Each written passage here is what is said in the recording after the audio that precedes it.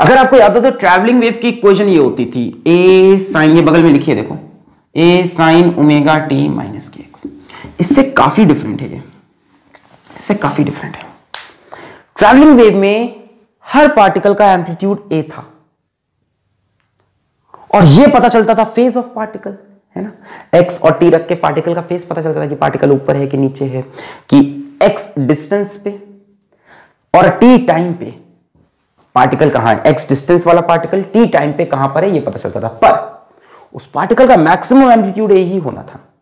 भाई, जब इसकी वैल्यू वन हो जाए साइन थीटा की मैक्सिमम वैल्यू वन उस टाइम हर पार्टिकल की मैक्सिमम वैल्यू यही आ सकती है मैक्सिमम डिस्प्लेसमेंट और एक साथ नहीं होता था। कभी कोई मैक्सिमम में, कोई मिनिमम में सबके बीच में फ़ेज़ डिफरेंस होता था, याद है? ट्रैवलिंग वेव की बात कर रहे हैं। ये अलग है स्टेशनरी वेव इनकी कहानी अलग है। ये अपनी ही धुन में है इनमें क्या है? सुनो ध्यान से, सुनो सुनो सुनो। इसमें क्या है कि ये पूरा एम्पलीट्यूड है। आराम से समझो। हमने जो अभी फ़ोटो खींच के बनाया था, उसमें वाइनेट की इक्वेशन यही सब तो आ रही थी। कभी minus two A sine k x कभी ज़ीरो कभी two A sine k x कभी ज़ीरो और ये है मेरा फेस अभी थोड़ा कम फील आया है, कोई बात नहीं, अभी आएगा ये है पूरा फेस और ये है एम्पलीट्यूड ये पूरी चीज़ डिसाइड करेगी पार्टिकल का एम्पलीट्यूड पार्टिकल का एम्पलीट्यूड उसकी पोजीशन पे डिपेंडेंट है। ध्यान से सुनो। स्टैंडिंग वेव के अंदर amplitude of particle is dependent on the position of particle displacement नहीं बोल रहा। डिस्प्लेसमेंट नहीं एम्पलीट्यूड जितना वो मैक्सिमम ले सकता है कभी जीवन में, कभी जीवन में जितना मैक्सिमम ले सकता है, वो डिपेंड करेगा उसकी एक्स की वैल्यू आराम से सुनो, आराम से। अभी अभी फील फील दिलवा देंगे। कुछ पार्टिकल ऐसे हैं जो इतने बदकिस्मत हैं कि कभी भी डिस्प्लेस नहीं हो पाएँगे। हमेशा अपनी मीन पोजीशन पे नोड्स जरा नोड्स की पोजीशन निकाली जाए। भाई साहब नोड्स वो हैं जिनको समय से फ़र्क नहीं पड़ रहा। समय बदल रहा था, पर नोड्स हमेशा अपनी डिस्प्लेसमेंट ज़ीरो किए थे। मतलब टाइम से कुछ लेना देना नहीं है। टाइम से कुछ ना हो सकता हो कॉस ओमेगा टी की वैल्यू वन हो जाए। कहते जाओ मैक्सिमम डिस्प्लेसमेंट ले लो, पर वो नहीं ले पा रहे, उनका डिस्प्लेसमेंट ज़ीरो यानी नोड्स वो जगह है जिनका वाइनेट ज़ीरो हो और जिनको टाइम से कोई फ़र्क ना पड़े। टी से कुछ लेना देना नहीं टी चेंज करो, हम तो ज़ीरो पे ज़ीरो करेंगे, जैसे। मतलब इसको हटा दो, इससे मतलब ही नहीं है। वो जिनका वाइनेट ज़ीरो हो उनकी कुछ ऐसी पोजीशन थी। मतलब ये टर्म उनका ज़ीरो था। उनका two A sine k x he zero था, हमेशा। उनका एम्पलीट्यूड ही ज़ीरो है। ये पूरी चीज़ एम्पलीट्यूड थी। यार ए ज़ीरो नहीं होगा टू ज़ीरो नहीं होगा साइन के एक्स ज़ीरो होगा। साइन के एक्स ज़ीरो तब होता है जब एंगल की वैल्यू कितनी हो? ज़ीरो हो। साइन वन एट्टी हो। साइन टू सिक्सटी हो। थ्री पाई हो। फोर पाई हो। इन सब जगह पर। आपने देखा है साइन थीटा की वैल्यू ज़ीरो रहती है। मतलब के एक्स की वैल्यू अगर ज़ीरो है पाई है टू पाई है तो चाहे टाइम जो हो जाए, उस पार्टिकल का डिस्प्लेसमेंट ज़ीरो कौन सा पार्टिकल भी दिखा रहे हैं आराम से। टेंशन नहीं, सब सही है। के की value two pi by lambda k की value two pi by lambda into x is equals to zero pi two pi three pi four pi n pi भी बोल सकता हूँ, पर नहीं बोलूँगा, क्योंकि मैं कंफ्यूज नहीं करना चाहता। पाई से पाई मरेगा एक्स की पहली वैल्यू आएगी ज़ीरो पाई से पाई मरेगा एक्स की दूसरी वैल्यू आएगी लैमडा बाई टू पाई से पाई मरेगा एक्स की तीसरी वैल्यू आएगी लैमडा फिर आएगी थ्री लैमडा बाई टू फिर आएगी टू लैमडा क्या यहीं पे हमने नोट्स देखा था? शायद x is equal to zero वाला हमारा इग्नोर हो गया था, पर अगर आपको याद हो तो पहला पार्टिकल हमेशा मीन पोजीशन पे था, याद है? मीन मीन मीन यानी नोड्स मिलेंगे ज़ीरो पे लैमडा बाई टू पे लैमडा पे three lambda by two two lambda x की इन पोजीशन वाले पार्टिकल कभी भी कभी भी अपनी पोजीशन नहीं छोड़ेंगे। चाहे टाइम कुछ भी हो। इन पार्टिकल का एम्पलीट्यूड ज़ीरो स्टैंडिंग वेव में ये एम्पलीट्यूड नहीं होता, ये पूरा amplitude particle amplitude of particle is dependent on position of particle particle की पोजीशन डिसाइड करती है कि वो कितना एम्पलीट्यूड ले सकता है। ए पार्टिकल बेचारे इनका एम्पलीट्यूड हमेशा ज़ीरो चाहे टाइम कुछ हो जाए।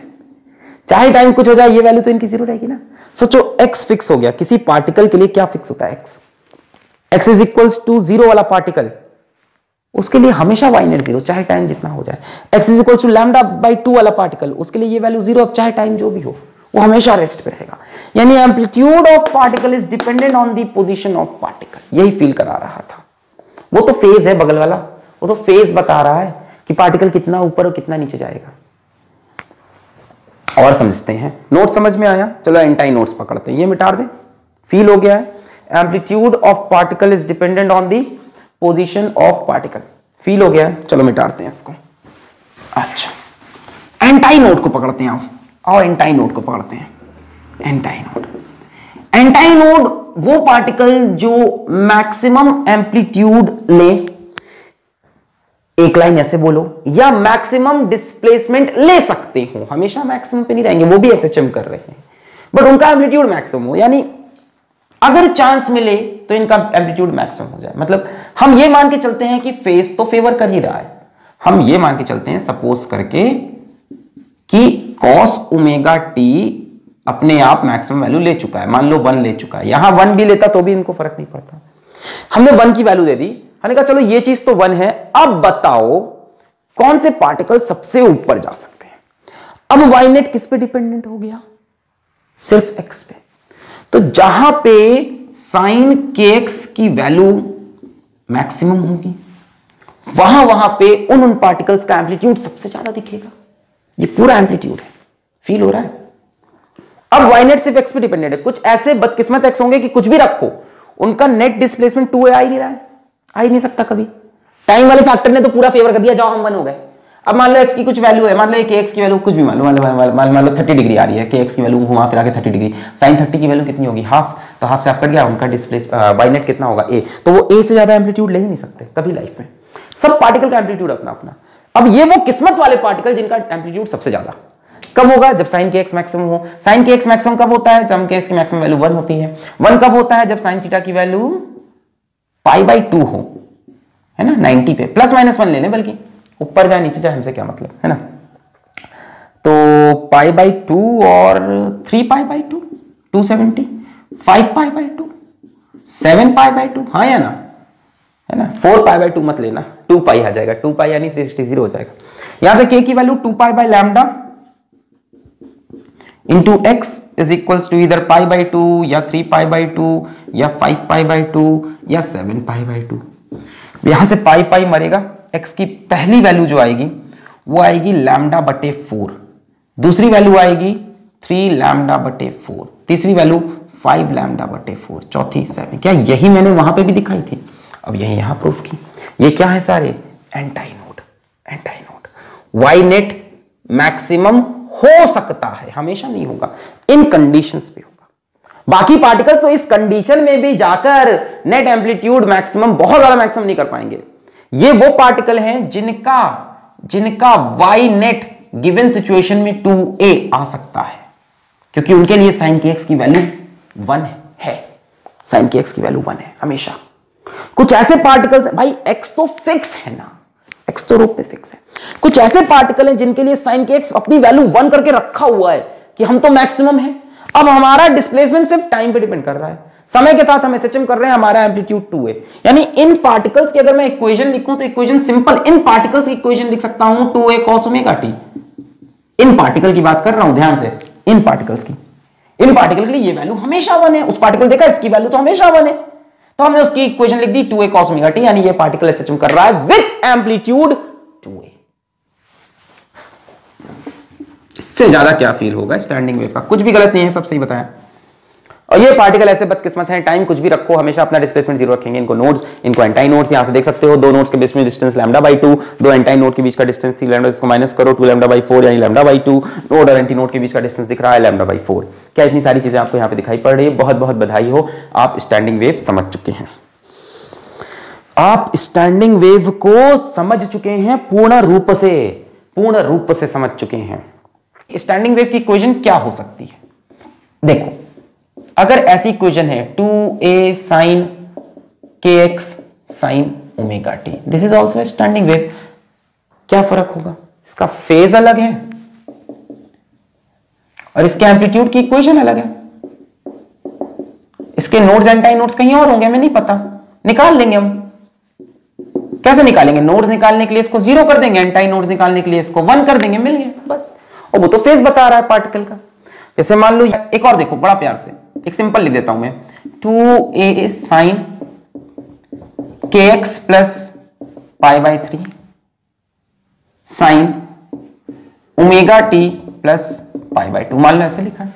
ये भी स्टैंडिंग वेव है। जनरल इक्वेशन लिखनी कुछ भी हो सकता है। यहाँ sine cos sine cos sine cos two A ना लिखाओ अब कोई ज़रूरी थोड़ी ना। कोई ऐसे लिख के देते मान लो तो ये थोड़ी ना कहोगे स्टैंडिंग वेव नहीं है। ही हो क्या एकदम साइन के एक्स मान लो लिखा है cos omega t plus pi by six तो ये थोड़ी ना कोई स्टैंडिंग वेव नहीं है भाई।